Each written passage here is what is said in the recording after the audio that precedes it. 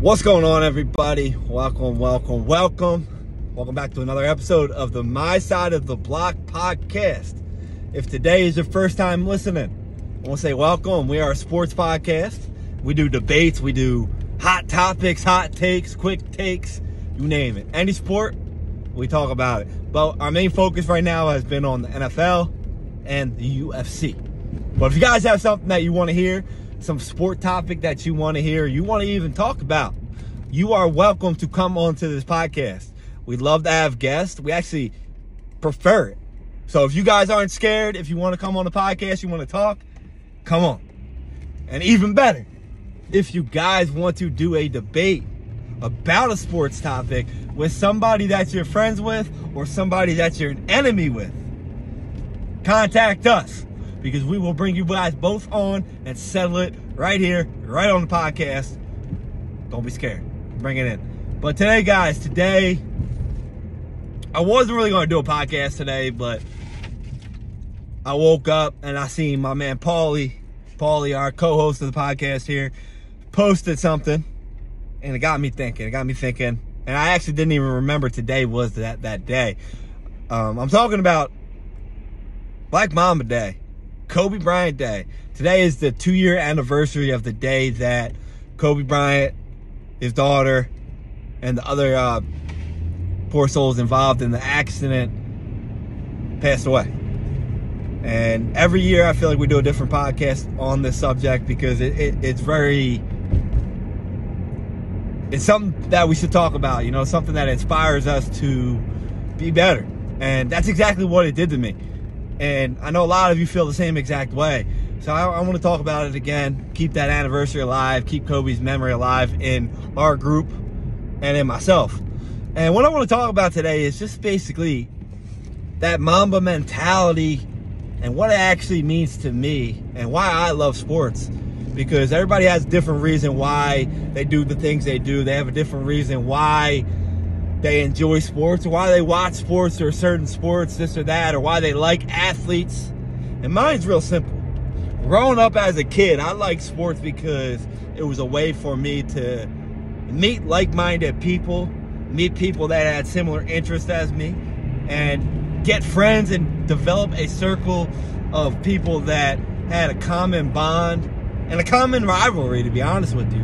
And as I grew grew up, I like sports for that. I like sports because my friendship my friendships were circled around sports because we would always meet up, we would go play, you know, basketball, we'd get pick up football game, whatever it was, wiffle ball, anything. We'd go meet up with our group of people, meet new people, and you grow great relationships with that. I have a lot of great memories growing up. I have a lot of great friends that I'm still friends with that generally started with sports.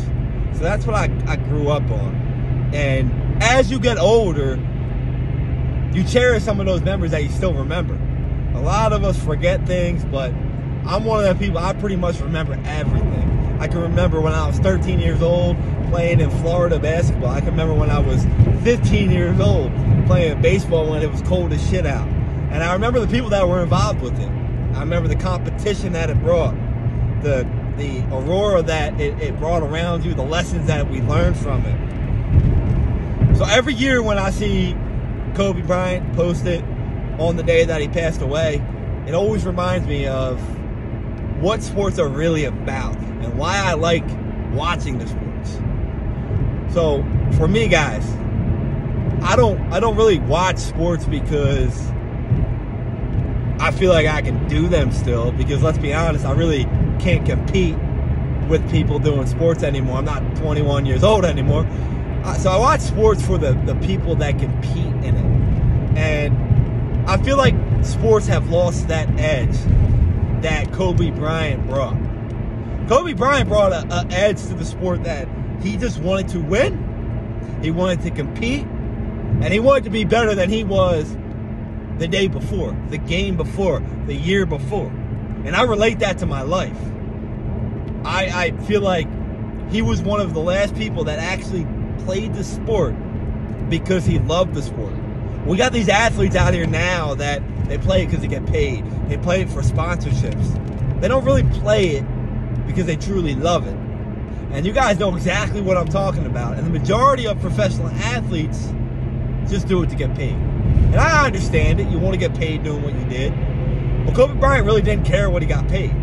He cared about what his legacy was on the court and what it reflected of who he was off the court.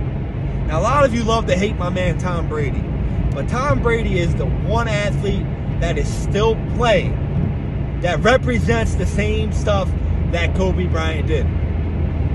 I love Tom Brady not because he wins the Super Bowls. I don't like him for that. Yeah, it makes him better, but I like him for what he represents. Hard work, dedication, commitment to excellence.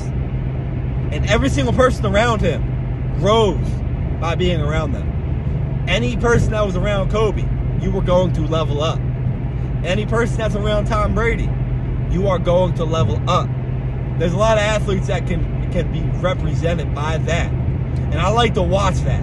I like to watch sports for the competitiveness, for the to see people do things that you're like, wow, that should not be done. That person should not be able to do that, but yet they do do that. I like watching that shit because a lot of these athlete, athletes nowadays in different sports, especially in like the UFC, you got guys that are coming from from Africa, from Russia, coming from these different countries that 20 years ago never would have thought it was even possible because it wasn't. You got a guy who's the heavyweight champion of the world right now that was digging sand holes in France, had nowhere to live, and now he's the best heavyweight in the world. Might be the best heavyweight fighter ever. We got another guy who 20 years ago wouldn't have been able to leave his country from Russia, Khabib, who came over to the UFC, dominated the people he fought, and opened the gates up for other fighters. That's the type of stuff that Kobe did.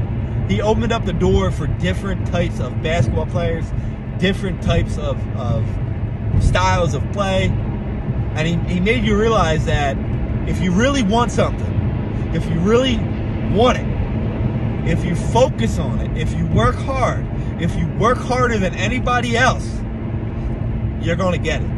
And the one thing that people forget about Kobe Bryant is this. If you ever listen to Kobe Bryant speak, he always talks about how when he was growing up, all the people that were above him never focused on what they were bad at. And that's what made him better because he did. He would talk about how when he played pickup games in high school, when he when he was growing up, he tried to play with people that were better than him, that were bigger than him, that were older than him. And he didn't focus on what he was good at. He focused on what he was bad at, and that's how he improved. A lot of people they go into life, they only focus on the things that they're good at, and then they always question why they never improve. They never get paid more at work. They never get better in the gym. It's because you're never going to get better when you're only doing the things that you're good at. You're going to stay in the same path. But if you want to get better and you want to be the best and you want to be better than you were yesterday, you got to focus on the things that you fucking suck at.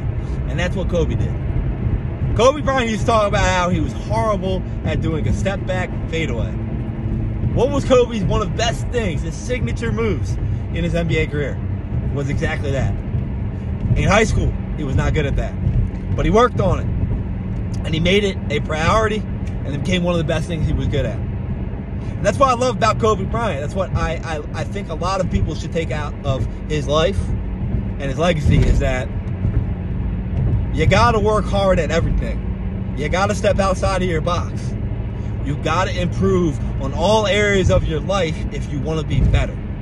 And you got to improve on the, the bad things if you want to stay better. We all like to look at our lives and think, wow, like I'm making more money this year than I ever have. I'm lifting more weights this, this year than I ever have. And you keep it the same. But if you look at why how you got there, you changed something. You started working harder at something. You started putting more effort into different areas. That's how you got there. So if you want to continue to stay there and you want to continue to grow from there, then you have to do the same exact thing. You got to keep growing. You got to keep evolving. And that's what Kobe Bryant did. Kobe Bryant, if you ever read books on him, If you ever read books on athletes like him, Michael Jordan, Tom Brady, even LeBron James, Michael Phelps, Usain Bolt, Wayne Gretzky, keep on naming them. These guys always were in the gym. They were always focusing on building to be better. They were always focusing on how they can improve. They never looked at, oh, well, I lost, this sucks. They never looked at, like, oh, well, I won, I'm done. No. They looked at each game, each season as a different opportunity to be even better. That's how you guys got to look at your life. You got to look at each day, each month, each year as an opportunity for you to be better. And we got to take out this thing that we know life is not guaranteed. Tomorrow is not guaranteed. But if you want to leave a legacy for yourself, for your family, for your friends, for everybody that follows you on your social media or in your podcast, whatever you do, work on being better every day. Work on being the best you that you can be every day. And the number one thing that Kobe Bryant said is this